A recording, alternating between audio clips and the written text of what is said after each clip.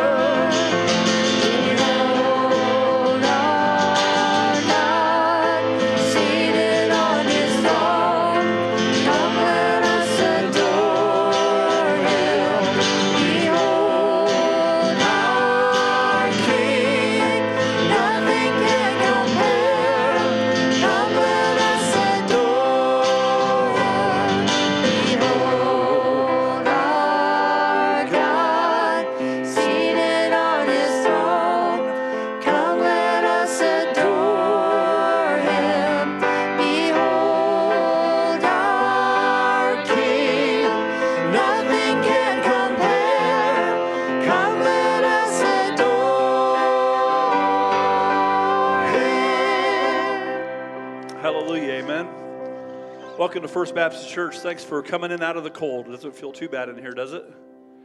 Well, we're all excited to see everybody and be here in the house of the Lord. Uh, the refrain so far from Hebrews to date is Jesus is better. And we're, and we're starting to take that into ourselves, correct? I don't think Nate's going to contradict that today. Pretty confident in that. And we've, we've learned that Jesus is better than the angels. He's better than Moses. He's better than the first covenant. The first covenant's place, its priests, its sacrifices, Jesus makes better promises. He gives us a better hope, a better country. He is the better possession. Jesus is gain. Jesus is better.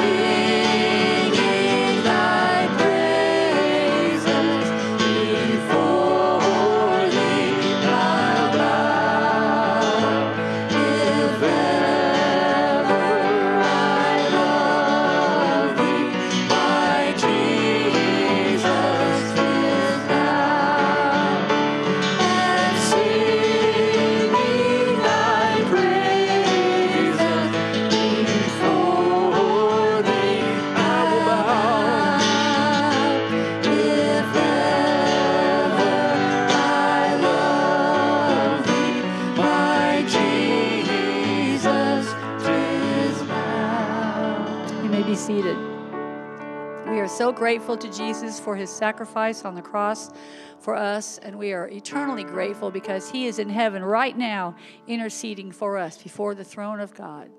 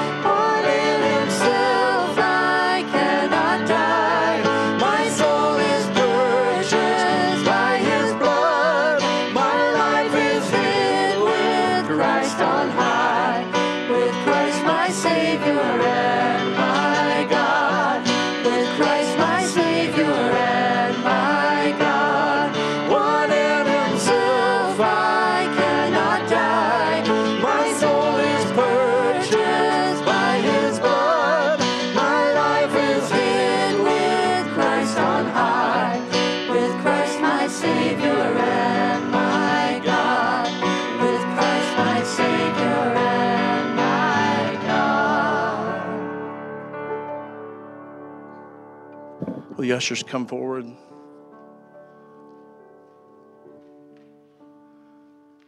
God's economy is vastly different from ours. God's economy, Jesus is better. God's economy is vastly different from ours. We give not because God needs, we give because He's given us so much. It's our chance to say, This is yours, Lord. All of it is. And this is a way that we give back uh, and that we allow God to multiply what we've given. Father, we thank you for the chance to bring tithes and offerings as part of our worship.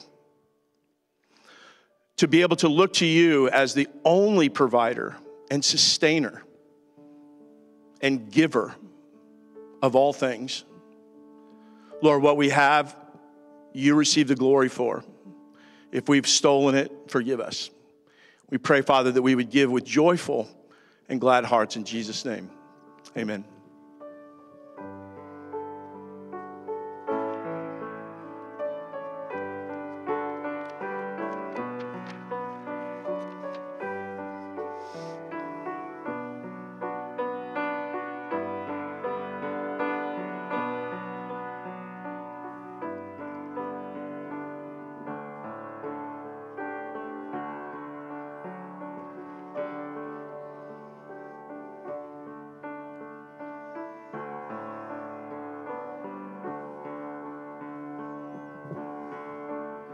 So let's take a few minutes. Uh, if you're the children here and you want to go to children's church, we just want to bless you and send you to do that. And if you'll just take a couple minutes, and uh, I, I'm thinking rub somebody's cold feet, maybe. I don't know. That's an that's an option if you've got really cold feet. Um, most people will say no to you, but uh, or you could just tell somebody hi and tell them they love them and that uh, you're glad they're here and that they brave the cold.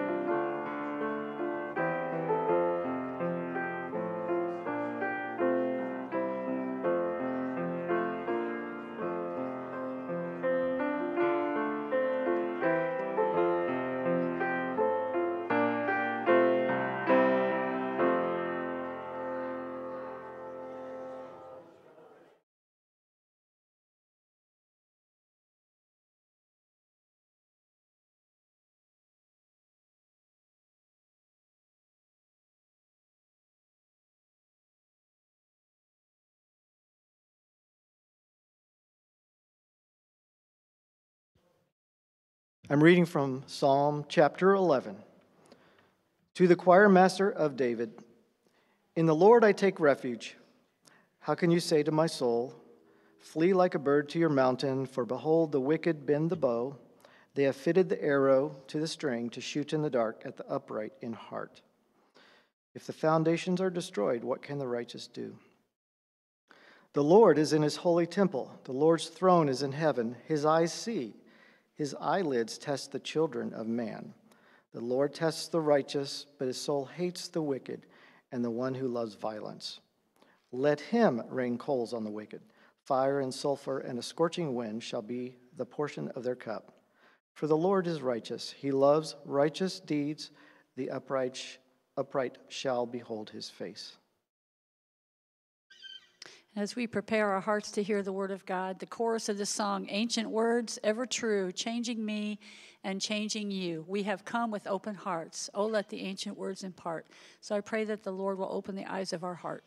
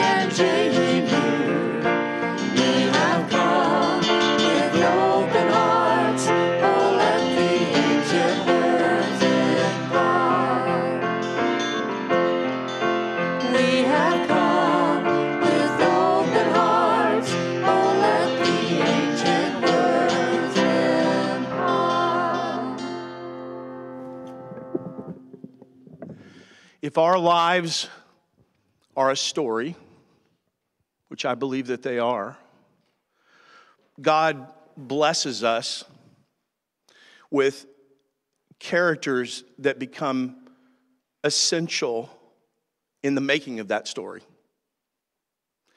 I was trying to figure out, Nate is one of those and has been for many, many years.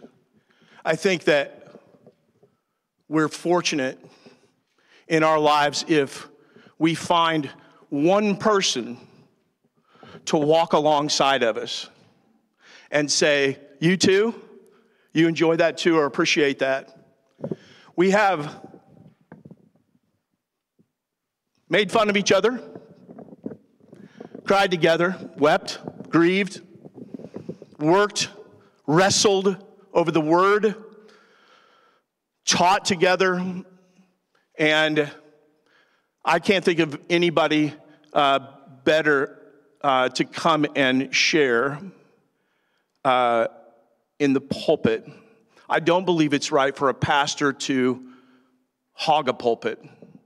I believe it's important to find people that, that are better communicators, that, that do a, a great job of being faithful to the word. But I have to say this one last thing. I was trying to figure out whether I was more excited to introduce Nate to you or to introduce you to Nate because you're my family and my tribe.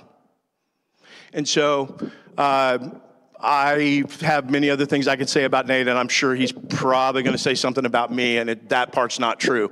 Um, let's pray for Nate that he might bring the word faithfully. Lord, I pray that you would give Nate the words today to speak. Lord, that you would hide him. Lord, we know that as we come as preachers, we don't come with our own words, we don't come in ourselves, we don't come to uh, press our own agenda. Our whole goal is to be fiercely faithful, to speak your word and not our own.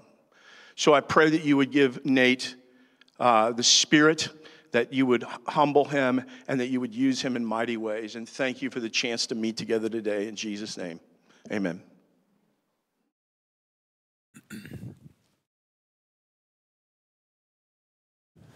Well, good morning, church. Uh, thanks for coming out on this balmy uh, morning. Uh, it's good to gather together. And uh, Brian, it's been really encouraging to see Brian kind of get some wind back in his sails. And uh, we chat, I don't know, probably once a week. And uh, he speaks very highly of you guys as his church.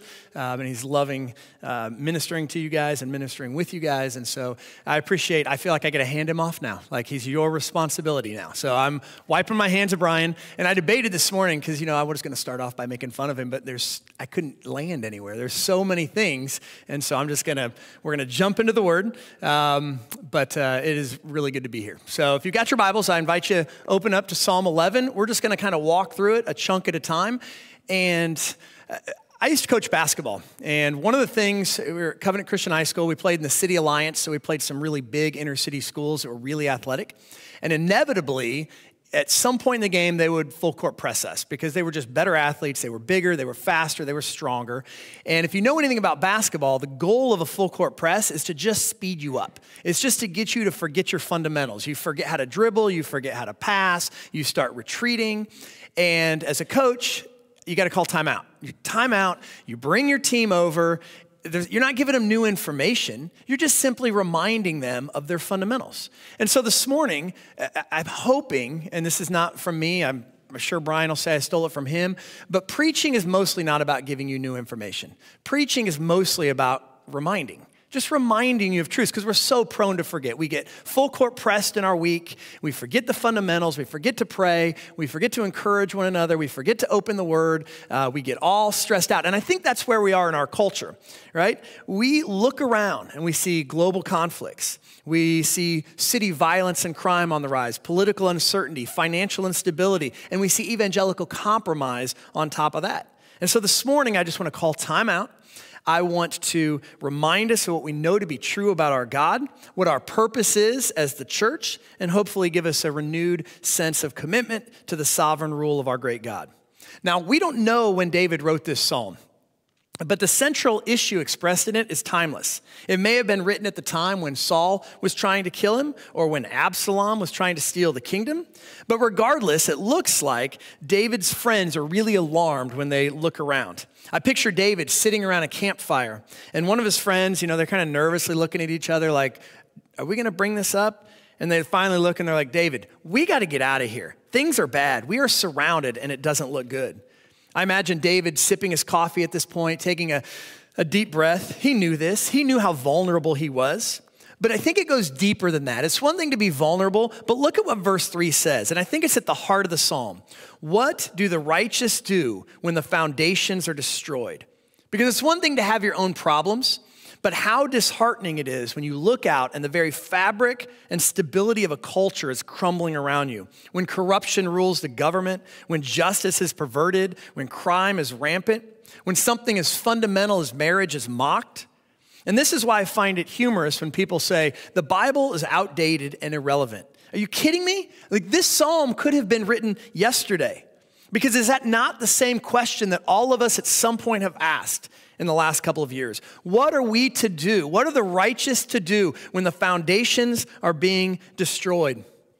And so we don't know the exact circumstances for David, but it's clear that he looks around and he sees the social order crumbling. Society was in disarray. God's word was being neglected in Israel, his justice being ridiculed, his laws were being questioned, his commands rejected, and it's no different today.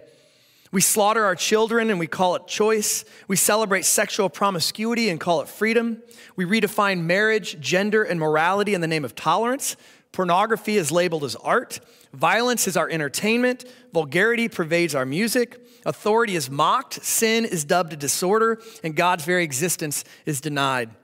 But the greatest illustration, I think, of how far we've fallen in our culture is the lack of shame and embarrassment. Things that were once kept hidden are now brought out and they're flaunted and they're celebrated to the point where we now call some of these shameful behaviors courageous. It's a fulfillment of the end of Psalm 1 where God gives them over and sin makes sin make sin. And people reinvent ways of doing evil and people noddingly approve of it. And aren't we asking these same questions? What are we to do when this is happening? You see, this is practical theology, this is not theoretical. It's Isaiah 5 playing out right before our eyes. Isaiah 5 18 says, Woe to those who draw iniquity to themselves with falsehood, who draw sin as with cart ropes. Woe to those who call evil good and good evil, who put darkness for light and light for darkness, who put bitter for sweet and sweet for bitter. Friends, our culture is pulling evil to itself and daring God to come and judge us. We think we're so mighty but we can't even handle disagreement without hurting somebody's feeling. We think we're so wise, we don't even know what bathrooms to choose. Things that should be so fundamental and foundational in our culture no longer are. The only rule is that everyone gets to make their own rules, but take no responsibility for breaking them. In fact, responsibility has been replaced by therapy, and we never get to our great and foundational need reconciliation with our Creator God. In our culture, we are the foundation on which we build on, and we all know in an honest moment how stable you really are. So, what should the people of God do? Now, before we look at our options, I want you to notice what David starts off with in Psalm 1. He starts off with a declaration to remind himself In the Lord I take refuge. Before he even gets anywhere else, he reminds himself, This is my fundamental truth. This is the umbrella under which all of these rhetorical questions and threats and dangers must be read. It's important to note that David doesn't start with how he's feeling. Who cares how he's feeling? His feelings won't change anything, and besides, they're likely to be different in two minutes anyway. He doesn't even start with what he thinks. We can't believe everything we feel, nor can we believe everything that we think. We lie to ourselves all the time. This is why Paul tells us take every thought captive, because thoughts come from within. Take them captive, put handcuffs on them, and put them under the revealing and searing heat of God's word. In other words, spend more time preaching to yourself than listening to yourself. So before David starts answering these questions, he preaches to himself In the Lord I take refuge. Now, once that is established, he can begin to ask these questions What do the righteous do when the foundations are crumbling? And I think David gives us three options. The first is that he can retreat. This is the advice that his friends are giving him. They say, David, let's get out of here. Let's run for the hills. And it's a perfectly understandable solution. Who among us has not looked around and been like, I got to get out of here?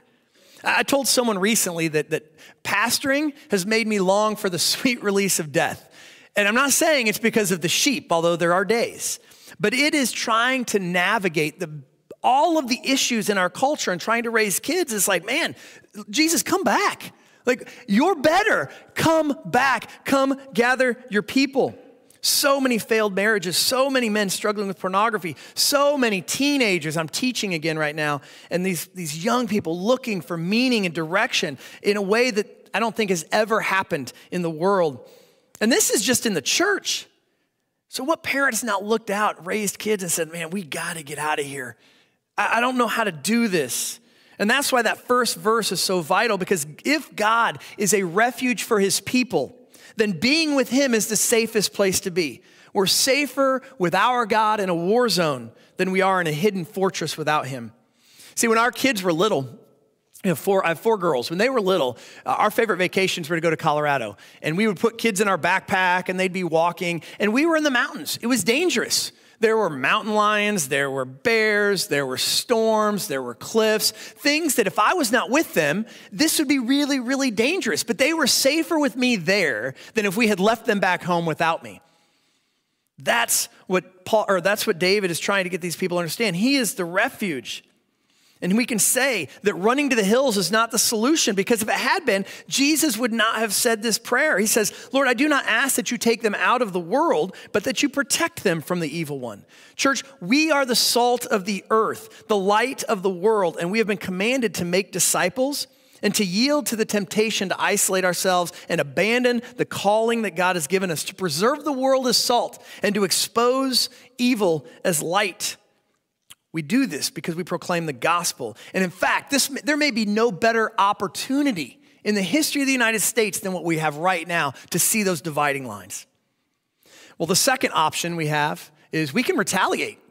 And while this is not expressed explicitly in the psalm, it was a possibility for David. Verse 2 says, The wicked bend their bow, they have their arrows drawn, they're ready to ambush. And as a warrior, David could have thought, You guys want war? You got war.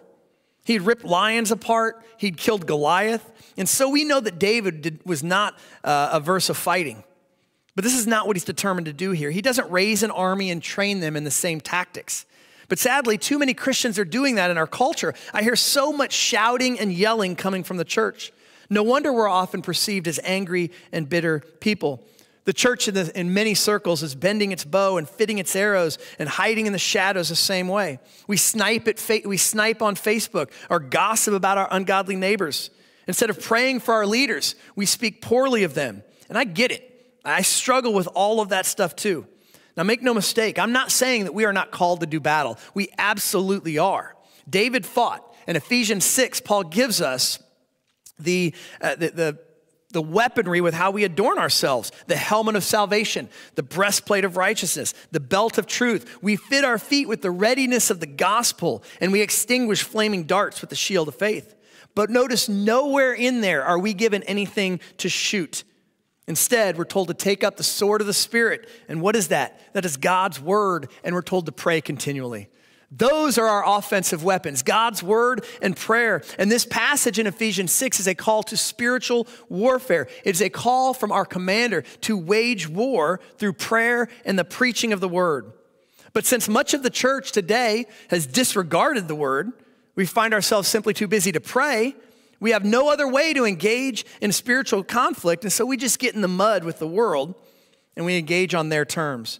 Church, look, I know that there is so much wrong with our culture. But truly, how much time have you spent praying for your enemies? But instead, we match anger for anger. When they shout, we shout. We sling the same mud and slander at our enemies, and I believe miss out on a ton of opportunity to dialogue with grace, patience, mercy, compassion, and conviction for a world that's so desperately looking for something to put its feet on. And we rarely offer a stable alternative to the shifting sand of our culture. And I'm amazed at how often we as a church put our hope in politics, for instance, and believe that with just a, a legislative stroke of the pen or one more Supreme Court justice, things are going to be solidified. That might happen. That may be what the Lord does, but that is not where our ultimate hope lies. We're often like Peter in the garden. In all of his passion, he's just grabbing a sword and just swinging away. And we are chopping ears off all over the place. And God's walking behind us and patching things up and saying, Nate, you need to calm down just a little bit. Remember, your kingdom is not of this world. But we forget and we wage with our enemies in, in similar ways that they fight. We vilify our opponents who we don't agree with and the vitriol that flows from our mouth, it often shows no distinction with how we love our enemies. Because we don't really believe verse 1 that the Lord is our refuge. Be interesting that if evangelicals were as passionate about the proclamation of the gospel as they are about promoting a political candidate. How often we hold up a political sign which will immediately ostracize half of the people, but we will never hold up Christ for fear of ostracizing ourselves. Where's your refuge? The government? Bank accounts? Our health and long life, your great treasures? We've heard multiple times this morning that Jesus is better. He's the one that conquers sin and death. He certainly can take care of you. it's kind of like sleeping in a tent. If any of you have been camping, I used to take uh, boys at Covenant. We'd go out west, and um, you know, for some of us, the first time they'd ever camped. And a couple of times we had some bear run-ins, and you realize the tent. You feel secure in a tent, but you're really just a nylon wrapped burrito.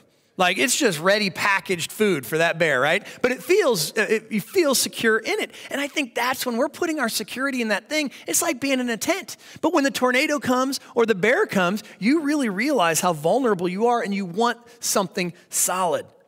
And this is what David proclaims in Psalm 61, 1 through 3. He says, Hear my cry, O God, listen to my prayer. From the end of the earth I call to you when my heart is faint. And I love this line Lead me to the rock that is higher than I. For you have been my refuge, a strong tower against the enemy. David knows that he needs something transcendent. He needs a rock that is far higher than he is. He's weak, he needs protection, and he doesn't ask for a bigger sword, more arrows, or more warriors. He prays and he seeks the Lord. He trusts in God as his refuge. This is Shadrach, Meshach, and Abednego, right? They're standing there. It's a great story. The king says, Hey, bow down. And they look around and they go, yeah, we're not going to do it. He said, No, no. No. If you don't bow down, you go to the furnace.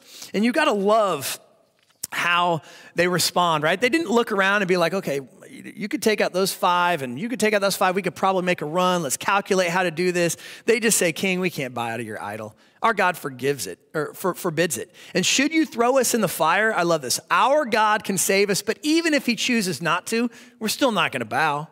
What a testimony. This is what it means to take refuge in the Lord. It doesn't mean that we don't resist. And I can't say that clearly enough. We need to resist in this culture.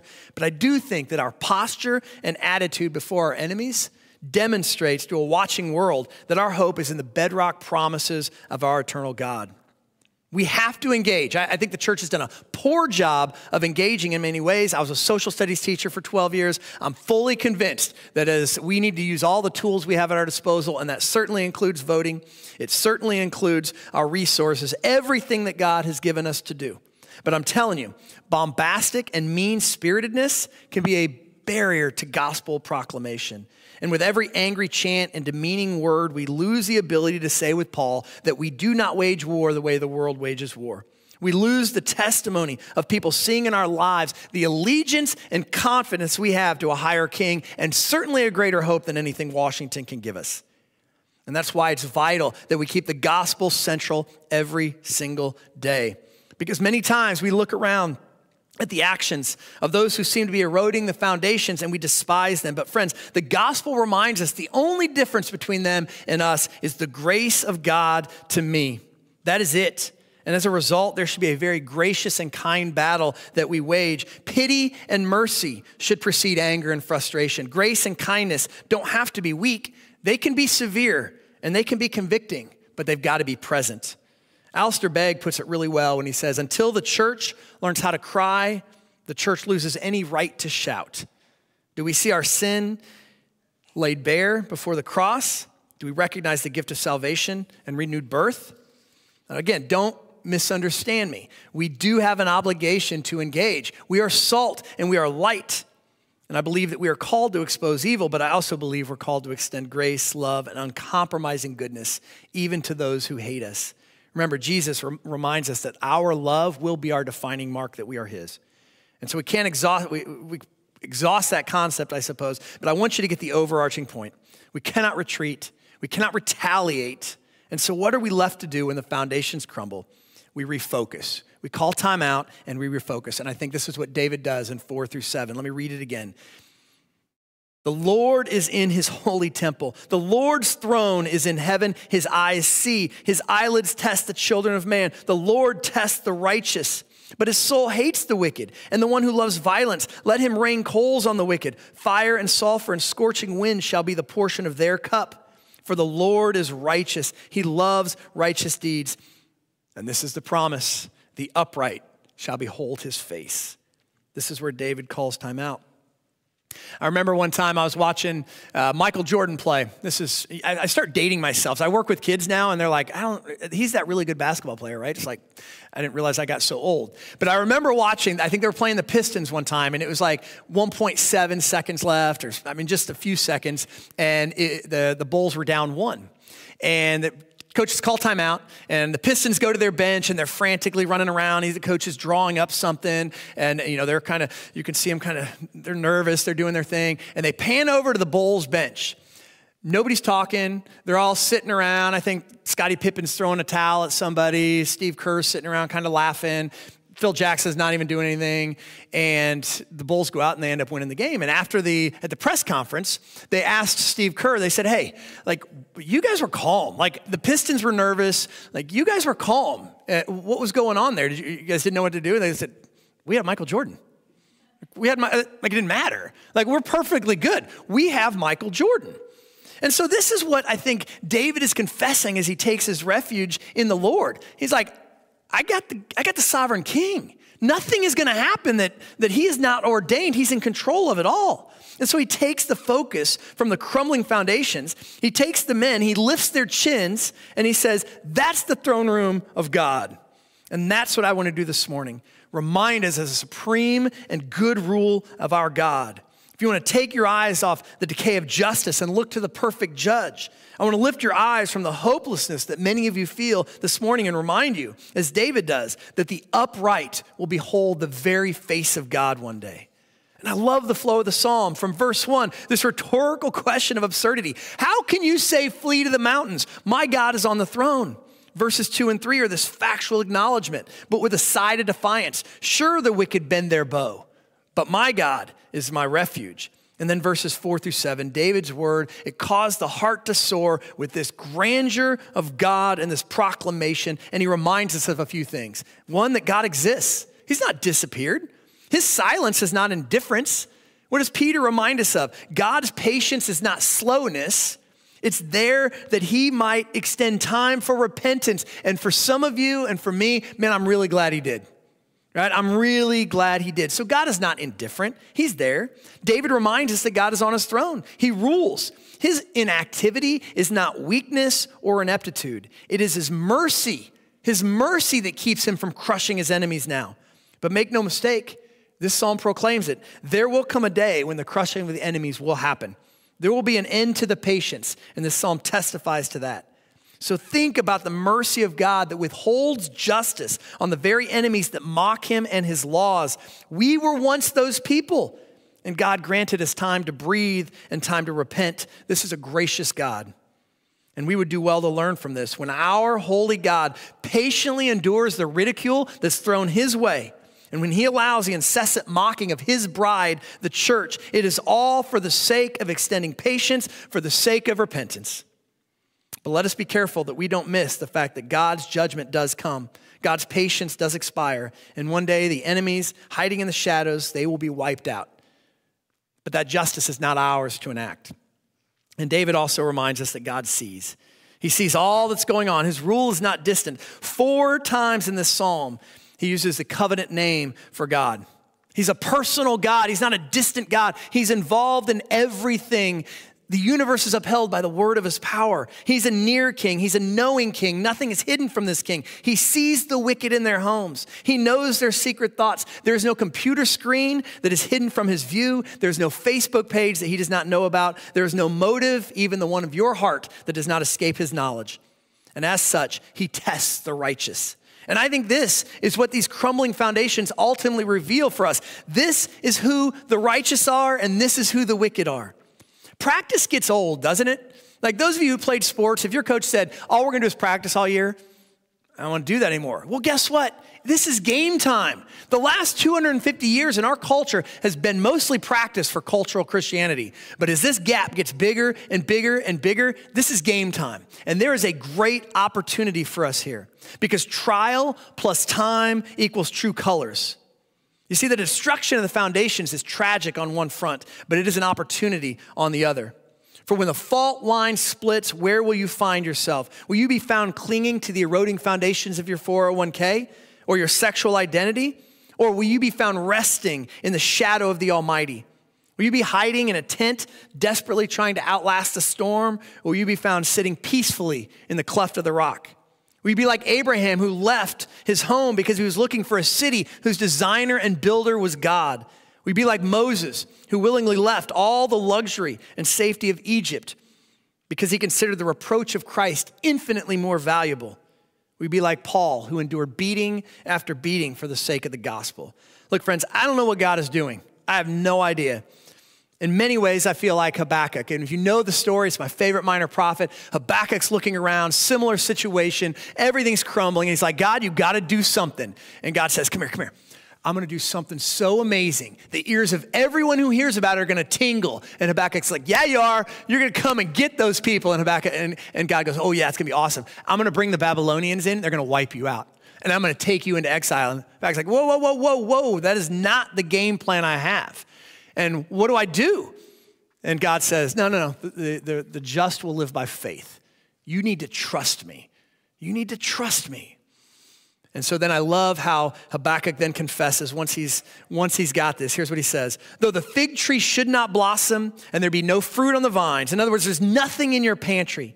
He says, The fruit, of the, the produce of the olive fail, and the fields bring no food. The flock be cut off, and there be no herd in the stalls. I have nothing. And what's he say? I will rejoice in the Lord. I will take joy in the God of my salvation. God, the Lord, is my strength. He makes my feet like the deer's, He makes me tread on high places. What a great confession. He doesn't know what the Lord's up to, and he probably disagreed with God's plan. I have done that multiple times. But he pledges an unwavering commitment to worship God and to lean into Him because his faith is not circumstantial and neither can ours be. He doesn't say, as long as things go well, I will worship you. He says, As long as there's nothing going on, I will stand and rejoice in the Lord because He is my strength and deliver. This is what it means to take refuge in the Lord. I'm reminded of something J. Vernon McGee said. He says, This is God's universe and He does things His way. You may have a better way, but you don't have a universe. Look, friends, God is still on his throne, and we don't know his timing, but we know that nothing is beyond his control and that everything he does is for his own glory and for our good. And I'm speculating here, but what if he's allowing the foundations to crumble so that the people of faith might be able to shine all the brighter? What if the immigration crisis is God's way of bringing people to your neighborhoods that you might be able to proclaim the gospel? What if God is emptying storehouses? Through inflation and everything else, so that we might show a world that we find our ultimate satisfaction in Christ and that we can display it to the world. Look, God has already demonstrated in the cross that his economy is so different from ours. And so here's what I want to leave you with. What do the righteous do when the foundations crumble? The same thing we do when they appear to be stable. We worship the Lord, we proclaim the gospel. We raise our kids in the fear and admonition of the Lord. We pray. We work as unto the Lord. Nothing changes for us. But too often we kind of throw around these ambiguous cliches like impact the world for Jesus or transform the culture. And we like those slogans because they're broad and they're faceless. But what if somebody says the best thing that you can do right now is love your wife like Christ loves the church? Well, now there's a face and now there's a responsibility. What's the best thing you can do? Go share the gospel with your neighbors. You can't change the world. I hate to tell you that. I'm not a very, I'm not a real good motivational speaker, am I? Uh, but I tell my students all the time, you can't change the world. But you can impact your family. You can impact your neighborhood. You can impact your local community. But I don't like my local community. I don't like my family. But the world, that's just kind of this nameless, broad thing, and it's a cliche that I don't know whether I ever accomplish but put a face on it, and now there's a responsibility. So, what do we do when the foundations are being destroyed? Here's the takeaway, right? We take refuge in the Lord. We love our neighbors. We love our spouses. We raise our kids to serve Christ, and we work as unto the Lord. You may not be able to change the world, but you can impact the people close to you. And sometimes the best thing you can do is lift their chins and say, That's the rock that is higher than me. Look, Jesus Christ is that rock, friends. And all who run to him will find refuge. He is the rock that is higher to us, that is higher than us, to the praise and honor of his great name. Amen. Let me pray. Heavenly Father, we recognize, uh, man, uh, that we live in a broken world. Uh, and sometimes it is, it is, man, it is broken beyond anything that we can repair. But we thank you that you are the better king. You are the one who will restore and redeem and put all things back together one day when we eagerly anticipate this new heaven and new earth. And so, Lord, I pray that you'd return today. It would be awesome if you return even before this service is over, that we worship here and then find ourselves gazing on the beauty of our risen Lord. Lord, give us a passion for your word and a passion for the glory of Christ. Make us a people who pray, who are quick to hit our knees, and people who open our word, open your word regularly. We love you. We thank you. We praise you in the name of Jesus Christ. Amen. Everybody, every, anyone encouraged this morning? Amen. That was a great word. Uh, thank you, Lord, for your faithfulness. Challenging word. Hopefully, for all of us, it certainly was for me. We're going to, let's stand to our feet. We're going to sing this last song. And, and uh, again, we're going to tell Jesus that He is the King of our heart. We choose Him. We're thankful that He chooses us. Uh, thank you, brother.